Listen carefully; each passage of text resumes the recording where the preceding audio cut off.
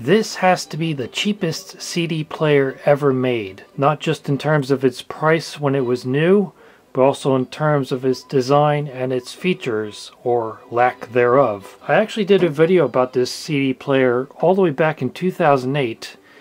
That one was branded as a Yorx, and I found photos of that one online where it has a big sticker on the front saying CD Pal. So I guess this was supposed to be a friendly, low-cost CD player. You'll notice this one is not branded as Yorx. That's because this version was sold at J.C. Penney. I found it in their 1989 Christmas catalog. It was part of a stereo system they were selling for $349.90. And the year before that, in 1988, they were selling the same stereo system without the CD player for $249.95. So I'm not sure if they ever sold this CD player individually, but if they did, it had an equivalent value of $99.95, which was incredibly cheap for a CD player at the time. The next cheapest CD player I can find from the late 1980s is actually another one I did a video about many years ago. It was sold by Sears as part of their LXI series. It was a top-loading CD player which looked a lot like a video game console and that one sold in 1989 for $99.99, making it 4 cents more expensive than this one. It has something which was actually rather common at the time in low-end CD players, especially those built into stereo systems in the late 1980s. That is the front-loading vertical CD mechanism. It advertises soft opening system, three-spot laser pickup servo system, and front loading system. So everything is a system on this. And I like the use of both the official compact disc digital audio logo and their own custom compact disc logo made to look like the planet Saturn. And this little grid pattern here, which is sort of reminiscent of the Sony logo of the time. And over on the control panel side of things, you can see what it advertises as the liquid crystal display display with a track number and this diagram showing play and pause when it's flashing. And in case you somehow didn't already get the point that this is a CD player and it's digital, it reminds you twice here saying digital audio compact disc player and digital. And here are the controls, very simple, stop, play slash pause, skip or search down and up, and the power button. And that's it. There's no programming features, there's no repeat feature, and the biggest limitation is that the display only shows the track number. And when I turn it on, you can see the biggest limitation is that the display only shows the track number. It does not show the elapsed or remaining time or the total time of the disc or anything else like that. Just the track number. If you look very close at the display, you can see two segments for a repeat function which this player does not have. It looks like the circle one would be for repeating a single track and the oval one would be for repeating the entire disc. But again, you can't do that on this one. And they were too cheap to give it a separate symbol for pause mode, so pause is indicated just by flashing the play symbol. You can see how narrow this CD player is because of its front-loading design, but it does have a rather nice metal cabinet. Around back, the signs of cheapness continue with a back panel made of masonite, and it has permanently attached power and audio cables with RCA plugs attached. According to the sticker, it was manufactured in October 1988. It was made in Japan, and here the identity is revealed that it was distributed by J.C. Penney, model number 6818. So to load a CD, you just pop open the drawer, you put in your CD like that. There's no guides or anything, it just sort of lays in there. You close it. You notice it doesn't start playing right away like any other CD player. That's because it would cost too much to include a sensor to tell it when you put a CD in. So it just sits there until you hit play. And then it starts spinning.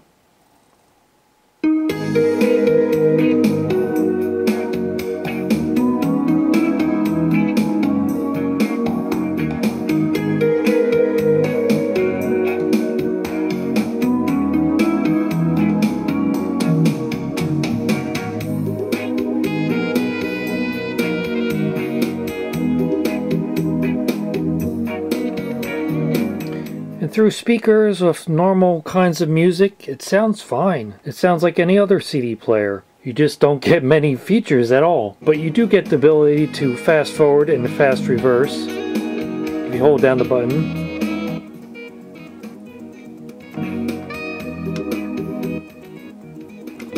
Again, there's no indication of anything like that because it's just a track number.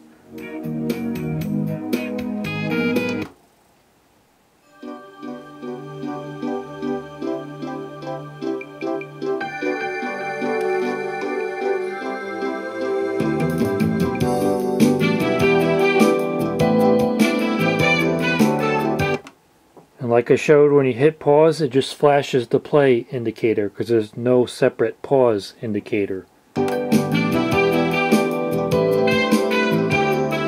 And you can queue up a track while it's paused, just like any other CD player. So for example, if I want track 7,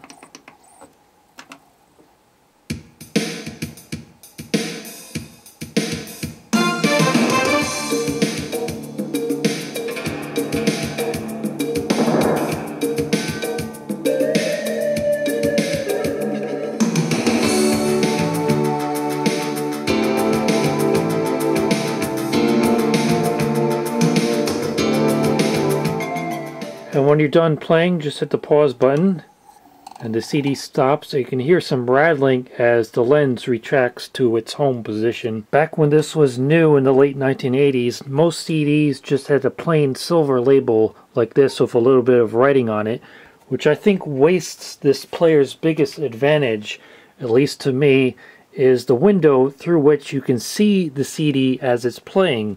So if you put in a more modern CD with full artwork on the front, then that really shows off the player as it's operating.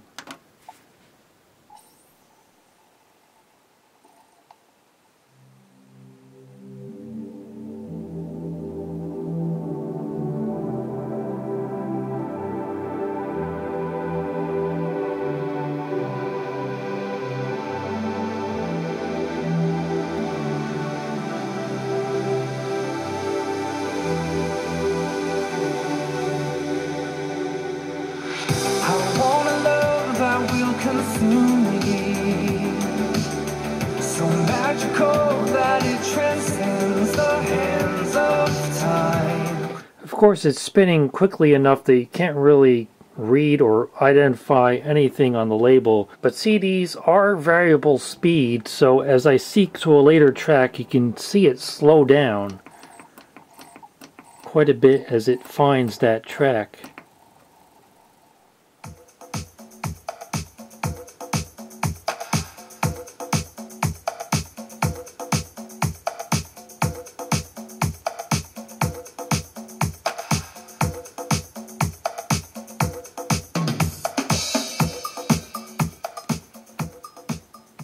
Like I mentioned, this is an extremely basic CD player mechanism to such an extent that there's nothing to prevent you from pushing the button to open the drawer when it's playing a CD, even though that's really not good because it'll come to a very abrupt halt, but here we go. So there's nothing to stop you from just abruptly opening it like that, even though that's really not good for the player or for your CD. To my surprise, unlike a lot of newer and better CD players, this has no trouble playing CDR discs, such as this one I found at the thrift store by Agent Biscuit. By this cover photo, you probably think this is some kind of Weezer type rock band, but to my surprise, this is actually instrumental jazz completely different than what I expected from them. This came from the Minnesota State University at Moorhead, or MSUM, in 2009. So let's play a little bit of this. This is a CDR disc with a label on it. Feels like a paper label.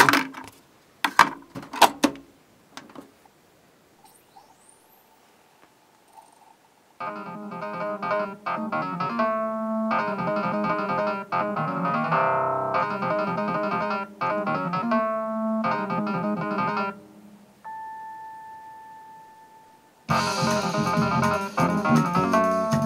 Very FM synthesis sounding keyboard there. But like virtually all older CD players, this will not play a CD-RW disc. If you try to put one in and hit play, it just sits there for a while and eventually it times out without even trying to spin up the disc. Inside there's quite a bit less than most other late 1980s CD players. I did notice that the Masonite back panel is coated with metal shielding and there was also this protective cover on the CD player mechanism. With that removed you can see the worm drive mechanism for the laser and the rails it goes back and forth on. There is a small belt here, but it's still good. On the main circuit board, I noticed that even as cheap as this thing is, there are quite a few test points and trimmers, and all the jumpers and test points are labeled, so clearly this thing was designed to be serviced. There are only four ICs on the top of the circuit board, the rest are underneath. These two larger ones are ROHM BA6290A power drivers, for the CD player mechanism. And these are JRC NJM 2904S op amps. Here's where all the fun stuff is on the bottom of the circuit board. And actually most of the chips are made by Sony, except for this one made by Funai. That one is the main CPU of the whole works here. And then the second largest chip, the Sony CXD 1130 is the digital signal processor and then next to it is this smaller Sony chip which is a RAM chip. And these two Sony chips are the servo and RF amp for the CD player mechanism. And that just leaves this little chip here the Sony CXD 1140 that's the DAC, the digital to analog converter. So overall, this is a CD player that Earl Madman Muntz would be proud of because they basically took a well-established good quality Sony design and eliminated all of the features and components that were not absolutely necessary for its operation. And that's how they were able to make the cheapest CD player design of its time. I'm now playing the output of the Yorx or JC Penney CD player into the input of my computer which is sampling at 48 kilohertz and we're viewing the spectrum analysis graph of that and we can actually see on this graph something this player has in common with much more expensive and newer CD players. That is, on the output of the DAC, it uses a low-pass filter for a relatively gentle slope. This vertical line here, where my mouse pointer and pencil is pointing to, represents 22,000 Hertz, which is the maximum audio frequency that can be represented on a CD. And originally, most CD players had a very sharp and abrupt filtering above 22,000 Hertz to prevent any of these higher frequencies from leaking through. But later it was discovered that if you purposely let some of the higher frequencies leak through the filter, even though it's technically distortion, it actually sounds better because it has more of an analog like characteristic. This characteristic of letting some of the higher frequencies through the filter is what Pioneer calls legato link conversion, and it's what MQA or Master Quality Authenticated calls deblurring. And they both claim this gives more of an analog like sound because instead of that sharp cutoff at 22,000 Hertz, it has more of a gentle slope similar to a pure analog recording. Now I'll give you some direct hookup samples of the output of the CD player. I will be uploading this video with uncompressed audio. However, YouTube and Vimeo and LBRY will be compressing the audio. That's unavoidable. However, since it will be only one stage of compression, the quality loss will be minimal.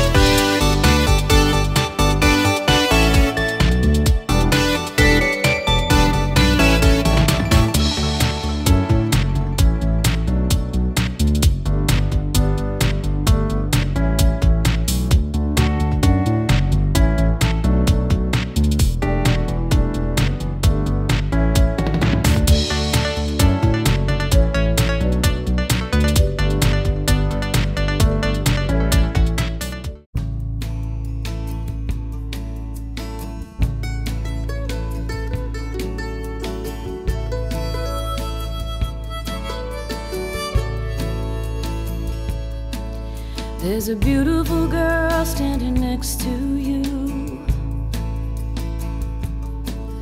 Do you see her now? Do you see her true?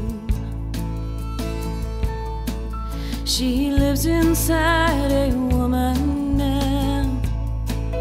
Mm. Do you see her? Do you see her now? She has loved you for 15 years.